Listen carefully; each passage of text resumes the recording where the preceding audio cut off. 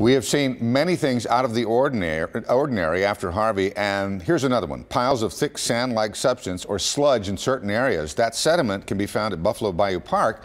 The Buffalo Bayou Park Partnership tells us it's going to take a couple of months to get rid of all of it.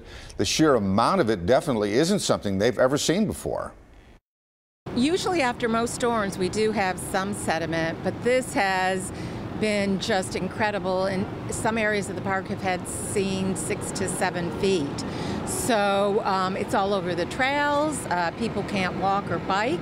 But um, our first priority was to clear the trails, and that's pretty much done now. As for the safety of all that sludge, the Buffalo Bayou Park Partnership says testing on the sediment is scheduled for next week. Once the test is done, results should come in within five to seven days. How they remove the sediment will depend on the test results.